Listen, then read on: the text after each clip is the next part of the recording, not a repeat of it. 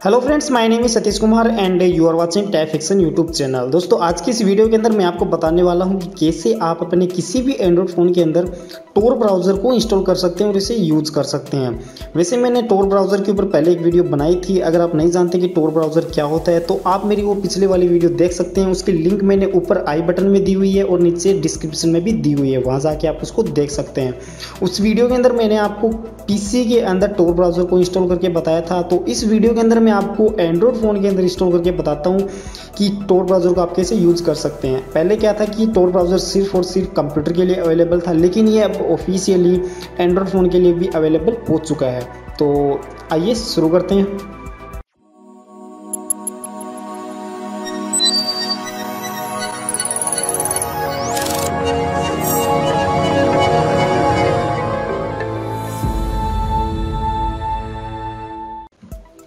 तो सबसे पहले आपको क्या करना है, यहाँ से प्ले स्टोर ओपन कर लेना है, ठीक है?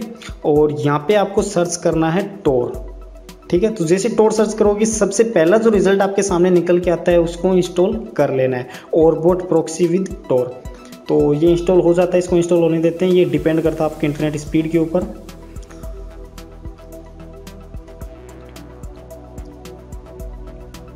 ठीक है तो ये इंस्टॉल हो चुका है। सिंपली आपको यहाँ से इसको ओपन कर लेना है।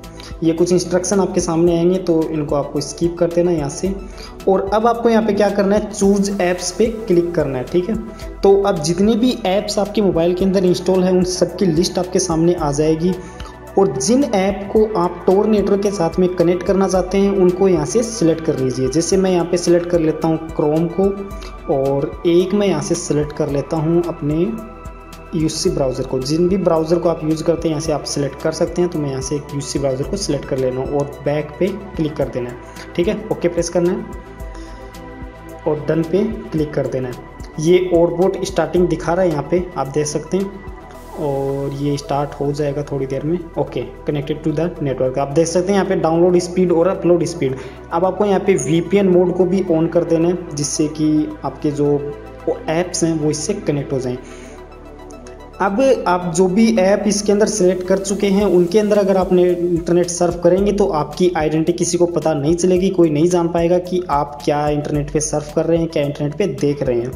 तो अगर आप अपने मोबाइल के अंदर डीप वेब या फिर डार्क वेब को भी सर्फ करना चाहते हैं तो इसके लिए भी इन्होंने एक ऑफिशियल ब्राउज़र बनाया है। अब बेसिकली क्या है कि हमारे जो नॉर्मल ब्राउज़र है क्रोम ब्राउज़र या फिर यूसी ब्राउज़र ये इतने सक्षम नहीं है कि आपको डार्क वेब सर्फ करा सकें। तो इसके लिए आपको एक ओरफॉक्स नाम से एक ब्राउज़र आता है, जो आप यहाँ पे आइकन देख सकते हैं, इस पर टैप करना है और इंस्टॉल ओरफॉक्स पर क्लिक कर देना है। अब ये जो ओरफोक्स ब्राउज़र है, इसको भी आप यूज़ कर सकते हैं। अगर चाहे तो अगर आप deep web dark web surf करना चाहते हैं तो आप इस ब्राउज़र का यूज़ कर सकते हैं। बाकी कोई ज़रूरत नहीं है इसकी। आपकी आइडेंटिटी तो वैसे भी हाइड हो चुकी है तो मैं इसको इंस्टॉल तो नहीं करने वाला हूँ, ठीक है?